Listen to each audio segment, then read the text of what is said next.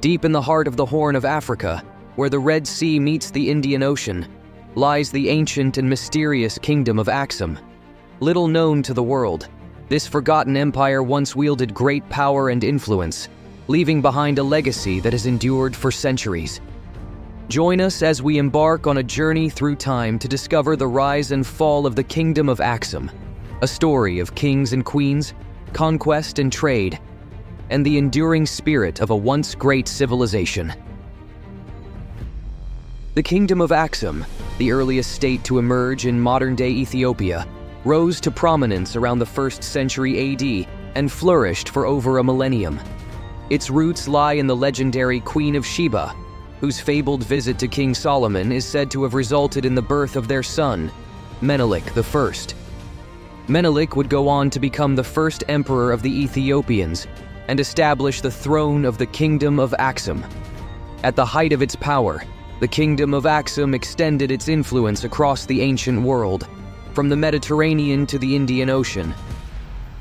Known for its wealth in gold, ivory, and precious stones, Axum became a major center of international trade, connecting the empires of Rome, Persia, and India. Its strategic location made it a key player in the global economy and a hub for the exchange of culture, ideas, and religion. In the 4th century, Axum became one of the first Christian kingdoms in the world. Legend has it that the Ark of the Covenant, believed to house the Ten Commandments, found its resting place in Axum. This sacred relic became the centerpiece of the kingdom's religious and political life, drawing pilgrims and seekers of blessings from afar. Axum's churches, adorned with vibrant frescoes and intricate carvings, became sanctuaries of faith and spiritual devotion. The most enduring legacy of the Kingdom of Axum is its written script, Ge'ez, which is one of the oldest alphabets in the world.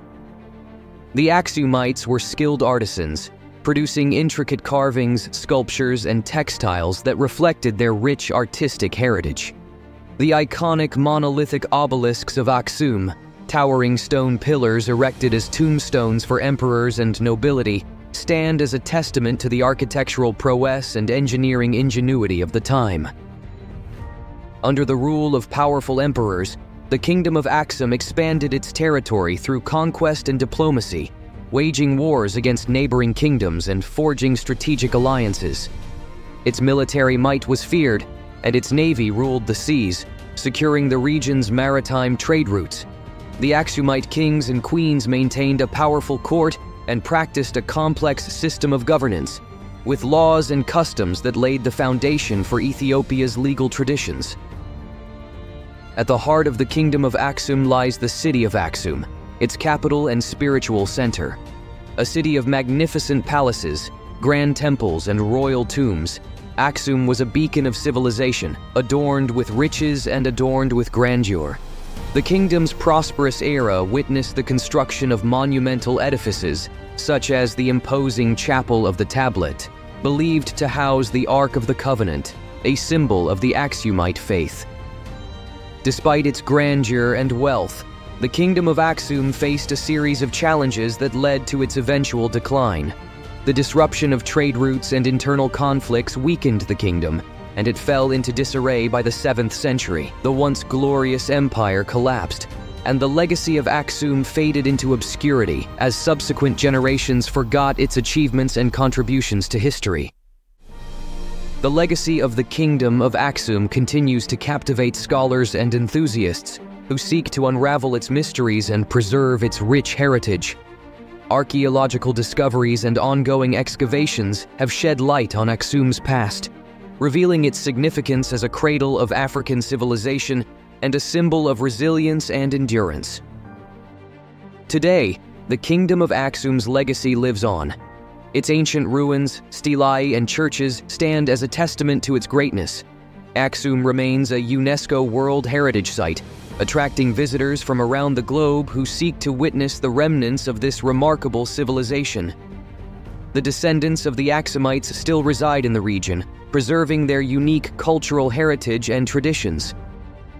The spirit of Axum lives on in modern Ethiopia, a country proud of its rich history and vibrant culture. From the breathtaking landscapes of the Simien Mountains to the bustling streets of Addis Ababa, the ingenuity and creativity of the Axumites continue to inspire a nation and its people.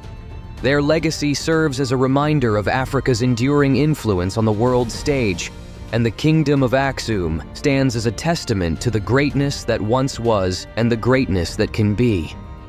As we stand among the ruins of a once great civilization, we are reminded that the stories of our past hold the keys to our future, and through the rise and fall of empires, we find the enduring spirit of humanity.